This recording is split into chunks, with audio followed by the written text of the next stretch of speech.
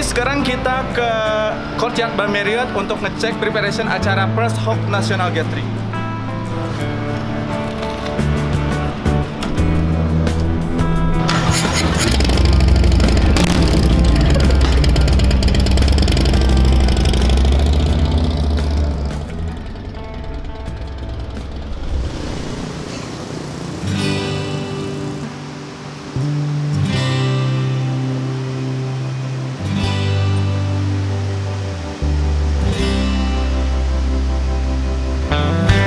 Nah, sekarang kita udah nyampe di Courtyard by Marriott. Hotel ini tuh udah di buyout oleh HOG untuk acaranya Hawk National Gathering. Di depan hotelnya juga kita udah bisa lihat brandingannya ada di sana.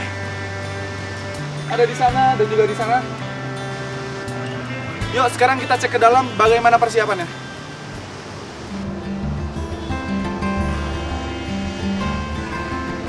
Mas, saya mau ngambil kamar untuk kau.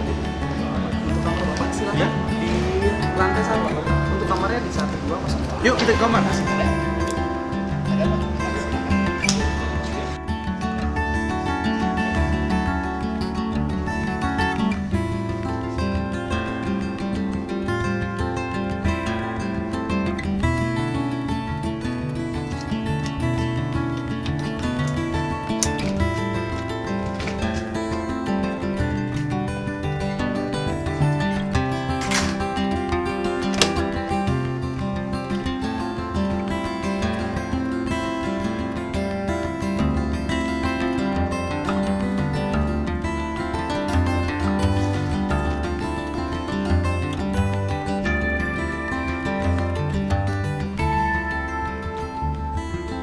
kamar. Ini menjadi lokasi untuk menginap para member dan juga peserta di acara Hope National Gathering. Kamarnya cukup luas dan nyaman, tapi sekarang kita cek lokasi-lokasi yang lainnya.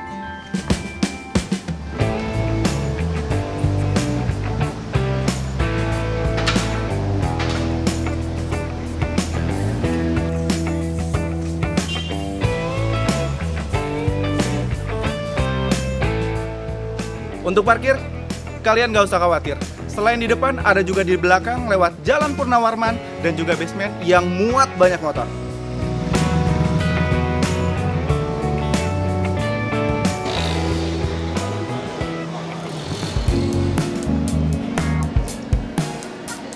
Sekarang gue lagi ada di Momo Cafe. Ini yang bakal jadi tempat makan untuk acara Hawk National Gathering. Tuh di depan ada brandingan yang cukup gede. Bisa buat foto-foto. Saatnya kita cek ada apa aja di dalam. Come on.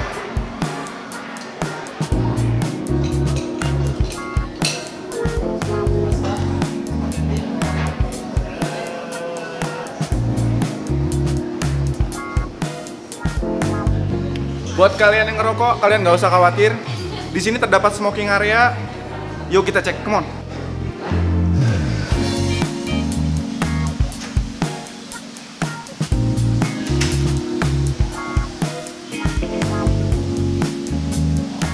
Smoking area juga nggak terlewat dengan brandingan acara Hawk National Gathering.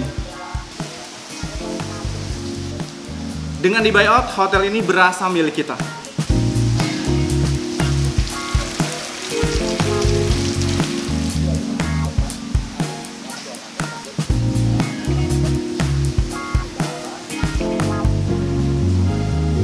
Luas juga ternyata smoking areanya.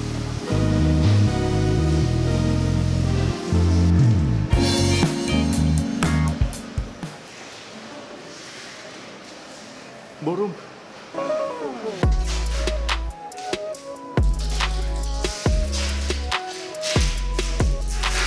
sekarang gue lagi ada di ballroomnya. Nah di sini tuh adalah tempat puncak acara nanti untuk The First Hawk National Gathering dan di depan gue sekarang lagi ada persiapan untuk stage-nya. Kalian bisa lihat sendiri.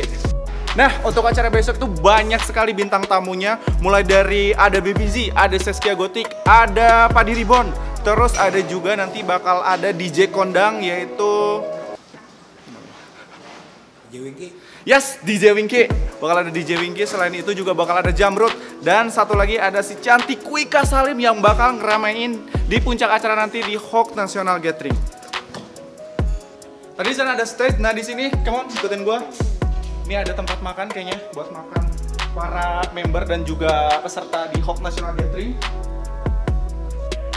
Di sini kayak tempat tersembunyi gitu dan ternyata dari panggung itu terpisah dari panggung ke tempat makan tuh kayak lokasi terpisah tapi masih nyatu gitu tapi ya nggak begitu jauh dari uh, senternya tadi. Mas Mas ini untuk ballroomnya sendiri bisa nampung berapa orang? Nah, kalau kita punya ballroom ini sih bisa Hmm. nampung 600 orang bisa. 600 orang. Nah, jadi besok di sini di ruangan ini bakal ada kurang lebih ada 600 orang. Kalian bisa tebak sendiri keramaiannya seperti apa. Gua nggak sabar untuk nunggu besok karena ternyata di sini ada stand minuman wajib para bikers.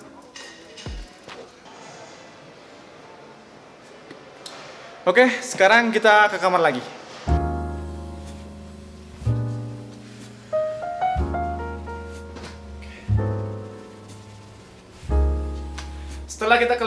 Melihat venue di Hotel Courtyard by Marriott, kalian tahu kan fasilitas apa yang bakal kalian dapetin kalau misalnya kalian buy out hotel? Kita bisa dapetin full branding dan juga full facility.